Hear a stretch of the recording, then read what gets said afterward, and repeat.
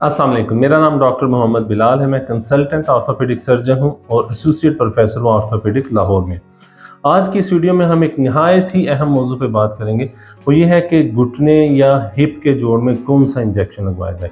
Market में बहुत सारी ऑप्शंस अवेलेबल हैं। पेशेंट्स अक्सर कंफ्यूज होते हैं कि डॉक्टर साहब ये वाला इंजेक्शन या वो वाला इंजेक्शन। तो आज हम उसके बारे में बात करेंगे। सबसे पहले मैं आपको एक चीज़ बता दूँ। कोई भी जो इंजेक्शन है वो एक मेडिसन है। और वो मेडिसिन का असर ख़त्म हो जाना है। इसलिए ये जो एक बहुत ही गलत बात पहली फैली हुई है हमारे माशरे में कि इंजेक्शन एक दफ़ा लगवा लिया तो उसकी आदत पड़ जाएगी, ये गलत है। इसलिए आप इसको बिल्कुल जहन से निकाल दें। कोई भी मेडिसिन जब आप लगवाएँगे, उसका असर रहेगा, वो हफ़्ता रहे या एक साल रहे, लेकिन वो बाद में असर ख़त्म हो जाएगा और आपके जोड़ को उसकी आदत नहीं पड़ेगी। अब हम आते हैं कि इंजेक्शन कितनी किस्म के हैं। तो याद रखिएगा कि तीन मेन किस्म के इंजेक्शन हैं जो इस वक्त मार्केट में अवेलेबल हैं।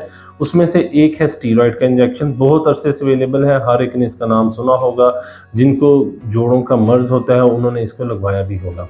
दूसरे नंबर पर इंजेक्शन है, जिसको हम पीआरपी कहते हैं। ये प्लेटलेट रिच प्लाज्मा है। ये एक रिसर्च प्रोडक्ट है। आजकल इसका काफ़ी ज़्यादा ट्रेंड बनता जा रहा है, क्योंकि रिसर्च में इसके इफेक्ट्स अच्छे आ रहे हैं। तीसरे नंबर पर है जेल का इंजेक्शन। इसमें हाइलोरॉनिक एसिड और कॉन्ड्राइटन सल्फेट, ये एक मेडिसिन है जो जोड़ों के लिए हेल्पफुल होती है और ये इंजेक्शन भी एक रिसर्च प्रोडक्ट है और आजकल इसका भी इस्तेमाल बढ़ता जा रहा है। अब हम एक एक एक करके इन तीनों को डिस्कस करते हैं। तो सबसे पहले हम आते हैं स्टीरॉयड की तरफ़। स्टीरॉयड एक नहायत ही ताकतवर एंटी इन्फ्लेमेटरी यानी कि सोजन को ख़त्म करने वाली और पेन को ख़त्म करने वाली मेडिसिन है। इसकी कीमत काफ़ी कम है और ये बहुत आसानी से अवेलेबल है। इसकी जो मेन रीज़न है कि हम जोड़ में इसको कब लगाते हैं, अगर आपके जोड़ में आर्थराइटिस है पेन बहुत ज़्यादा है, सोजन हो चुकी है तो हम उस वक्त स्टीरॉयड को लगाते हैं। अगर आपके जोड़ में चोट लगी है तो फिर स्टीरॉयड लगाने का कोई बहुत ज़्यादा फ़ायदा नहीं होगा, बल्कि कई दफ़ा होता है कि अगर कोई पट्टा ज़ख्मी है, आपने उसके ऊपर स्टीरॉयड लगाया तो वो मुकम्मल तौर पर टूट भी सकता है। तो स्टीरॉयड की जो सबसे बड़ी वजह है लगाने की, वो आर्थराइटिस, और ख़ास तौर पर जब एडवांस स्टेज में हो, जैसे कि आर्थराइटिस के फोर स्टेजेस हैं तो स्टेज थ्री और फोर में जब हम स्टीरॉयड लगाते हैं तो मरीजों को तकरीबन दो माह से लेकर छः माह तक इसका फ़ायदा होता है, उनकी पेन कंट्रोल रहती है उसमें सूजन कम होती है उनका चलना फिरना बेहतर हो जाता है। लेकिन स्टीरॉयड तकरीबन दो से तीन माह के अंदर अंदर आपकी जिसम में जज़ब हो जाएगा। स्टीरॉयड के साइड इफ़ेक्ट्स क्या है कि ये आपकी शुगर को कंट्रोल से बाहर कर सकता है, लेकिन इसकी बहुत थोड़ी सी डोज जॉइंट में लगाई जाती है और इसका असर भी कम है, लेकिन ज़रूर आता है। तो इसलिए अगर आपने अपने जोड़ में स्टीरॉयड लगाना है तो अपनी शुगर के लेवल पे नज़र रखें। इसके अलावा इसका कोई मेजर साइड इफ़ेक्ट नहीं है। ये बात ज़रूर है कि अगर आपने एक दफ़ा स्टीरॉयड का इंजेक्शन लगवाया, जैसा कि आपके कंधे का जॉइंट है या घुटने का जोड़ है और एक दो हफ़्ते के बाद आपको लगा कि उसने फ़ायदा नहीं दिया तो उसको दोबारा लगवाने का फ़ायदा नहीं है। जिस चीज़ ने पहली दफ़ा फ़ायदा नहीं किया तो उसको अगर आप दोबारा लगाएँगे तो हो सकता है उसका आपको नुकसान तो ज़्यादा हो जाए, लेकिन फिर उससे फ़ायदा रखना मुश्किल है। दूसरा जो इंजेक्शन है, जो बहुत कॉमनली इस्तेमाल किया जा रहा है, वो पीआरपी है। प्लेटलेट रिच प्लाज्मा इसमें आपका अपना ही ब्लड लिया जाता है, उसको एक स्पेशल मशीन के अंदर घुमाया जाता है। प्लेटलेट्स एक स्पेशल किस्म के खुलिए हैं जो हमारे खून में होते हैं। जब इनको मशीन में घुमाया जाता है तो इनकी कंसनट्रेशन बहुत ज़्यादा हाई हो जाती है और इनका कलर वाइट बन जाता है। तो वो वाइट सोल्यूशन जो है वो आपके घुटने में लगाया जाता है। प्लेटलेट रिच प्लाज्मा ये काम कैसे करता है कि एक दफ़ा आपके जोड़ में जाके हलचल मचाएगा। ये वहाँ पे सोजन बनाएगा। तो इस चीज़ से आप अंदाज़ा लगा सकते हैं कि अगर आपके जोड़ में पहले ही सोजन है और आप उसके ऊपर पीआरपी लगवा लेते हैं तो आपकी इलामत बढ़ जाएँगी। इसलिए पीआरपी जो है वो घुटने में सोजिश के लिए नहीं लगाया जाता। पीआरपी की जो सबसे बड़ी वजह है जो हम लगाया जाता है कि अगर आपके जोड़ में आर्थराइटिस है ये अभी रिसर्च फ़ेज़ में है। इसके फ़ायदे शायद फ्यूचर में बहुत अच्छे साबित हों, लेकिन अभी इसको आप 50-50 समझ सकते हैं।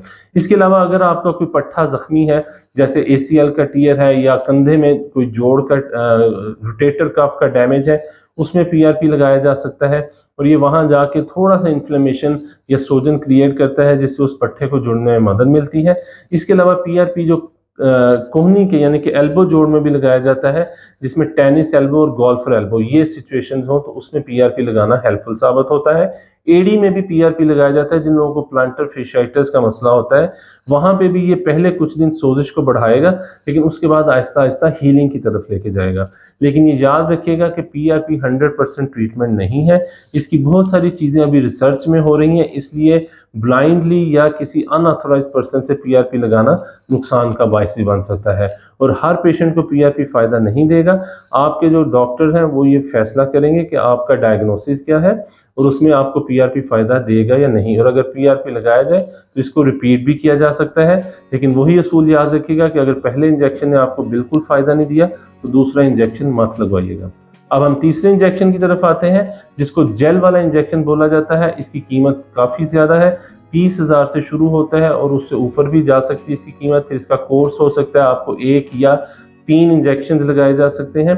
इसके अंदर जो मटेरियल है, वो वही है जो जॉइंट का अपना स्ट्रक्चर होता है। जैसे कैल्शियम हड्डियों के लिए है, ये जो हाइलोरानिक एसिड या कॉन्ड्राइटन सल्फेट है, ये जोड़ों के लिए होता है। और इस इंजेक्शन के अंदर यही दो अज्जा पाए जाते हैं। जब इस इंजेक्शन को हम जोड़ में लगाते हैं तो ये एक लुब्रिकेशन के तौर पे काम करता है।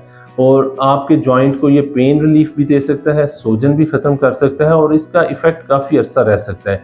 लेकिन ये याद रखिएगा कि अगर आप इंटरनेट पे सर्च करेंगे, जिसमें कि यूके की एजेंसी है नेशनल क्लिनिकल एक्सलेंस और अमेरिका की एजेंसी है अमेरिकन ऑर्थोपेडिक एसोसिएशन आप इन दोनों की वेबसाइट सर्च करेंगे उन्होंने ये बड़ा वाज तौर पे लिखा है कि ये जो जेल वाले इंजेक्शन हैं, ये सिर्फ़ इनिशियल स्टेजेस यानी कि इब्तदाई आर्थराइटिस के लिए हैं। अगर आपका आर्थराइटिस ऑलरेडी स्टेज फोर पे है तो ये इंजेक्शन आपको नहीं लगवाना चाहिए। अगर आप इंजेक्शन का अपना ब्रोशर या इंस्ट्रक्शन पढ़ेंगे, उसके ऊपर भी लिखा होगा कि ये एडवांस आर्थराइटिस के लिए नहीं है।